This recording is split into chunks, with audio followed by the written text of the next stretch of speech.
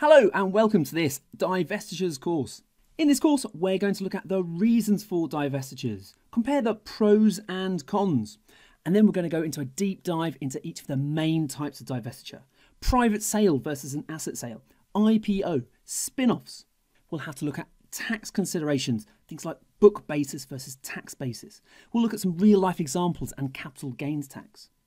We'll then have a look at capital structure, so the amount of debt and any restructuring that will be required because of the divestiture.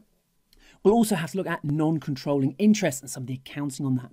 And above all, we'll have to build lots of models for each of these.